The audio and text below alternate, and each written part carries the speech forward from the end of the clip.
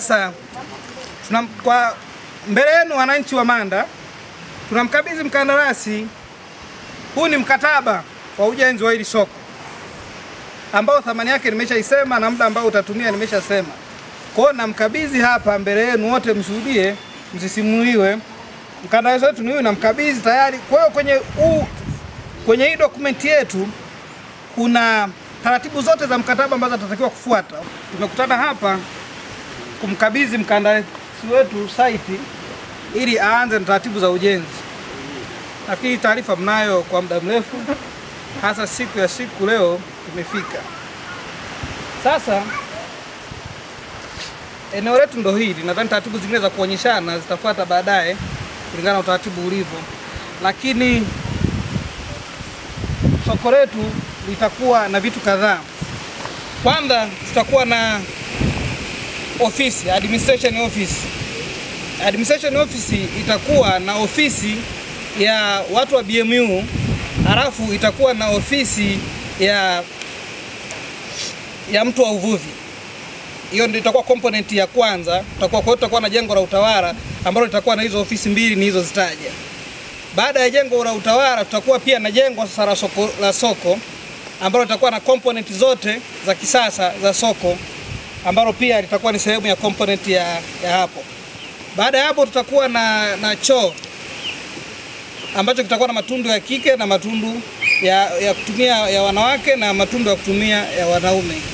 Baada ya hapo tutakuwa na, na kibanda cha mlinzi.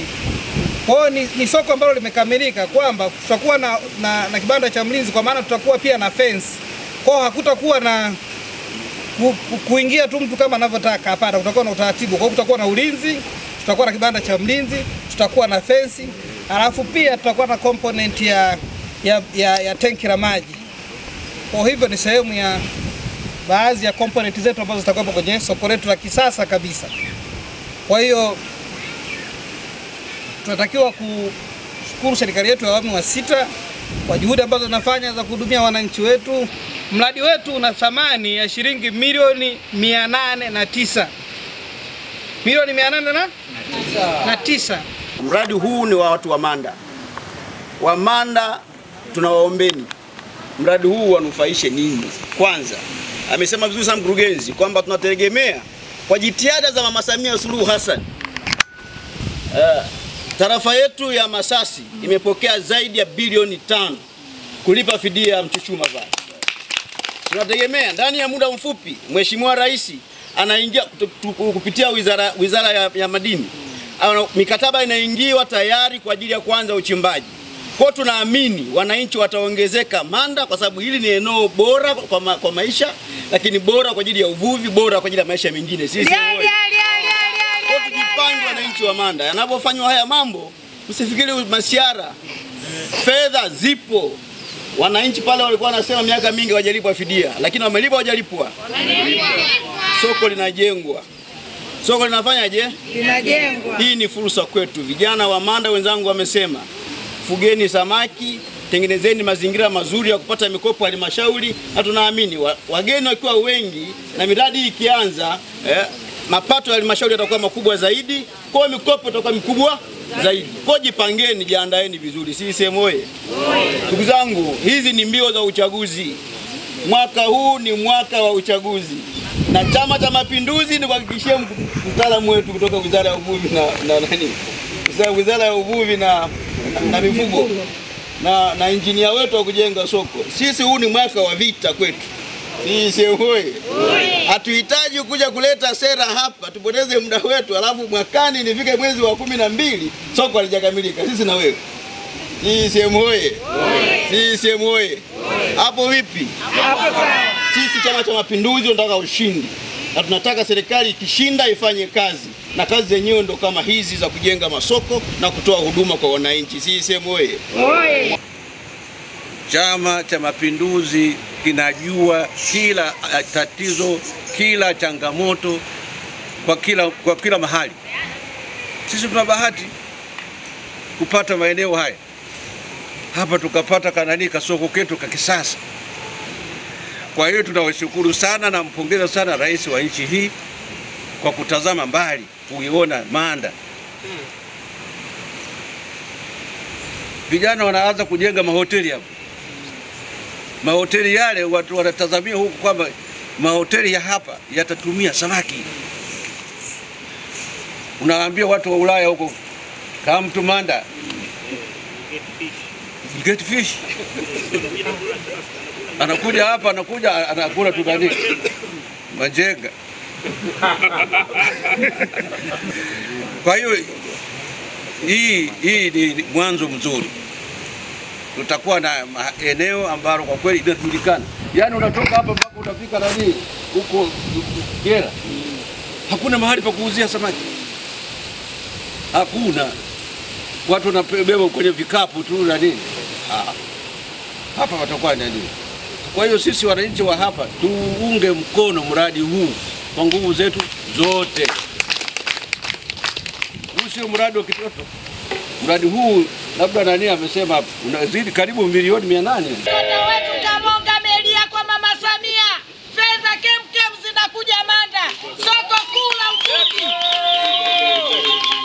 Kwanza kabisa natoa shukrani zangu kwa dhati sana kwa Mama Samia kwa kutoa fedha kwa ajili ya soko kuu la samaki Manda, pamoja na Joseph Kamonga kufuatilia Hakika kabisa leo tunaona uongozi uko mbele, mkurugenzi yupo, chama kipo, mwenyekiti wa halmashauri yupo. Kwa kweli hapa ndipo Manda patakuwa na soko kuu la samaki.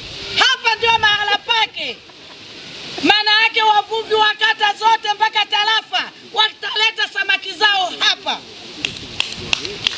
Kwa kweli tunafurahi sana mwenyekiti wa halmashauri, yale yote ambayo tulikuwa tunazungumzia pamoja na Joseph Kamonga leo yame- yametokea. Kwa hiyo nina furaha kubwa kama mwakilishi wa kata ya Manda kwamba kwa kweli mambo yametendeka. Kikubwa naombeni ushirikiano, ushirikiano sana. Sisi watu wa UDAVIS huwa tunapenda kusema tukipata mradi sehemu kama hii, wanufaike kwanza watu wanaozunguka mradi. Kwa hiyo wananufaika vipi? Tutahitaji vijana kwa ajili ya kusaidia kujenga, tutahitaji mama ntilie kupika, tutahitaji wamama kusomba maji. Kwa hiyo kazi zote hizo, tutalala kwenye hoteli hapo gesti, tutakula kwenye migahawa, yote ni wanaonufaika ni wale wanaozunguka mradi.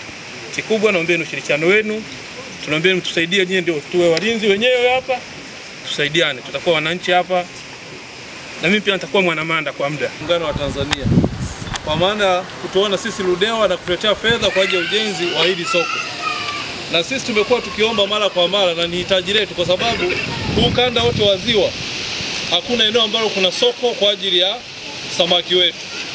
Kwa hiyo maanake kuna uhitaji mkubwa, tofauti na maeneo mengine. Haya masoko yameshajengwa, nadhani pia huyu bwana anayetoka wizarani anaweza kawa shahidi. Maeneo mengine haya masoko yameshajengwa. Kwa hiyo tunamshukuru sana Mheshimiwa Rais kwa kuona umuhimu, lakini pia kuileta fedha kwetu ili soko liweze kujengwa. La pili, namshukuru sana mheshimiwa mbunge wetu wa jimbo. Kimsingi ni mbunge ambaye anatusaidia sana, ni mbunge ambaye anajituma, ni mbunge ambaye ana uthubutu wa kupita katika wizara mbalimbali kuhakikisha kwamba mahitaji ya wilaya yetu ya Ludewa yanatekelezwa, na mojawapo ushahidi ni huu. Hii ni jitihada ya mheshimiwa mbunge, amepigania na hizi fedha zimekuja. Kwa hiyo mimi namshukuru sana kwa ushirikiano ambao anatupa ni mbunge ambaye anatamani sana kuiona Ludewa ikibadilika. Na ndugu zangu, Ludewa haiwezi kubadilika tu, sehemu mojawapo ni kubadilika kiuchumi, kubadilisha hali za wananchi kiuchumi. Wananchi wetu akiwa na hali nzuri za kiuchumi, pia hata wilaya yetu itaweza kuwa itapiga maendeleo. Na kwa sababu hiyo basi, nadhani pia nichukue nafasi hii kumshukuru sana mheshimiwa mbunge kwa namna ambavyo anatupigania, lakini kwa ushirikiano mkubwa ambao anaofanya kati yake yeye pamoja na ofisi yangu mkurugenzi pamoja na mheshimiwa mwenyekiti wa wilaya. Tunafanya kazi kwa ushirikiano, ndio maana tunaona haya mambo yanatokea. Jambo la pili, nipende tu kuwapa taarifa kwamba haya mambo hayatokei tu kwa kubahatisha, ndugu zangu, ni kwa sababu ya ushirikiano ambao tulionao, na sisi kama wilaya ya Ludewa tayari tumeshaanza kujipanga kwa kuhakikisha kwamba ziwa letu hili linatumika vizuri. Tumekuwa na changamoto kwamba ziwa letu samaki wanaotoka ni wachache. Sasa kama halmashauri tumejipanga kuwa na mradi kwa ajili ya ufugaji wa samaki kwa vizimba, na sisi tulishaanza na mfano tumeshatoa, na matokeo niwaambie tu, matokeo yalikuwa mazuri. Na katika maeneo ambayo tumeshafanyia utafiti ni maeneo mawili, kuna eneo la Chubwa hapa nani Manda na kule Lupinga. Kwa hiyo mtazamo au maono ya halmashauri ni kuanzisha kuviwezesha vikundi kuweza kutekeleza hii miradi ya kufuga samaki kwa njia ya vizimba, na ndio hapo sasa tuna connect na huu mradi ambao serikali umeleta, kwa sababu tutakuwa tunavua samaki wa kutosha, lazima tuwe na eneo kwa ajili ya kuhifadhi hao samaki, ili wavuvi wanapokuwa wanavua wasikose sehemu ya kufanyaje, ya kuhifadhia na kula hasara. Lakini bado tuna muunganiko mwingine kwamba tunatarajia miradi yetu kule Liganga pamoja na Mchuchuma kwa makaa ya mawe, hiyo miradi ianze. Ikianza itakuwa na watu wa, wa kutosha. Kwa hiyo maana yake nini? Soko tayari tumeshatengenezewa na Mheshimiwa Rais. Kwa hiyo kwa, kwa muunganiko huo na kama tunaona huko mbele, na hasa nasisitiza vijana, vijana wenzangu, tuone hii ni fursa, tusibeze Eh, maana nasema mleta soko la samaki, samaki wako wapi? Tufikirie mbele. Niombe sana vijana wenzangu, na katika uvuvi tumekuwa na tamaduni kwamba wanaovua ni wazee. Tuondokane na hilo, hata sisi vijana tunaweza tukavua tukawa matajiri, na mifano hiyo ipo kanda ya Ziwa. Sisi tunaongea tumetoka huko, tunaona kanda ya Ziwa wavuvi ni matajiri. Tumeelewana ndugu zangu? Eh, kwa hiyo naomba sana tutumie hiyo fursa. Kwa maana hiyo sasa tayari tutakuwa na mradi kama halmashauri kwa ajili ya vizimba vya samaki ambao tutawezesha vikundi vya kuanzia, lakini pia tutaalika na wengine wadau wengine ambao watakuwa na uwezo waweze kuvua kwenye hayo maeneo. kuja kutimiza ile ahadi ambayo ilikuwa inasema, kwa sababu Chama cha Mapinduzi mara zote huwa akisemi uongo, kikiahidi kitu kinatekeleza, ila sema kunakuwa na zile hatua ambazo zina zinafanyika ili tufikie kule kwenye kutekeleza. Kwa hiyo na mimi kwa nafasi ya kipekee niwashukuru wizara, nimshukuru Mheshimiwa Rais, Mheshimiwa Rais wetu Mama Samia Suluhu Hassan kwa kuiona Manda yupo kule, lakini anajua Manda kuna watu kule wanavua, kuna watu wanahitaji kuhifadhi samaki, kuna watu, watu wanahitaji kufanya biashara ya samaki. Vizuri, na mkurugenzi ameshasema, na sisi tunatamani hapa Manda katika vile vikundi ambavyo tutaviunda, si mnajua jamani, kuna mikopo ile. Sasa ile mikopo saizi mkikopa, msiende kufanya vile biashara ambavyo havieleweki, tukope twende tukafanye kizimba, na si halmashauri tunafanya pale. Kwa mfano, twende tukafanye kizimba, tufuge samaki, tukivua tuzilete hapa tuuze, na nyinyi wenyewe mnajua, si ndio? Tukiuliza samaki saizi hapa tunaweza tukazikosa, si ndio? Kwa maana yake sasa tuunde vile vikundi, tukope, tufanye kwenye miradi ya vizimba, ili tulete hapa kwenye soko tufanye biashara. na huu mradi ni wa kwetu sisi wanamanda, lakini pia wa jamii nzima ya wanaludewa, si ndio ndugu zangu? Eh, naamini litakwenda kututatua yale matatizo yetu tuliokuwa nayo ya utunzaji wa samaki, lakini pia kuona tunapata tija ya samaki zetu tunazovua, si ndio ndugu zangu eh? Kwa hiyo ninawaomba sana kwa niaba ya mheshimiwa mbunge tuutunze huu mradi, lakini pia tushirikiane vizuri na hawa wanaopiga kutekeleza huu mradi, kwa sababu sisi ndio tunaozunguka mradi, si ndio ndugu zangu eh? kusitokee zile tabia zile za uwizi wa vifaa na mambo mengine mengi, kwa sababu ukifanya hivyo tutauchelewesha mradi sisi wenyewe, si ndio ndugu zangu eh? Tushirikiane nao vizuri kuulinda. Matarajio yetu kwamba kama soko kweli kijengwa, najua kwamba tutafanikisha mengi. make wengi hapa tulikuwa tunapata, labda tulikuwa tunavua hapa, sehemu kupeleka samaki ilikuwa hamna, tukuta watu tunahangaika, tunapeleka mara Songea mara wapi. Kwa hiyo mategemeo yetu kwamba soko kama likiwa jirani, najua tutakuwa tupate usumbufu wote, na lingine ni kwamba watu wengi toka sehemu mbalimbali watakuwa wanatufuata kwa sababu soko litakuwa lipo jirani. Jina naitwa Koraini Aule.